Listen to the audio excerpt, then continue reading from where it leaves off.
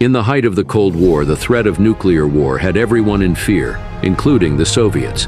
Their fear was that the United States could easily nuke Moscow without warning and eliminate the entire Soviet leadership with one powerful blow.